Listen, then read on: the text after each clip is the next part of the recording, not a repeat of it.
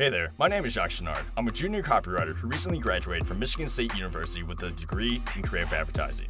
I'm passionate about putting the time in on projects and brainstorming with other creatives. There are a few things I love more than working into the night on advertising campaigns to build my portfolio. Before I discovered advertising, I was one of two students sitting in a packaging engineering intro class my sophomore year with my hand raised high. My professor just asked us who wanted to only do the creative aspect to packaging.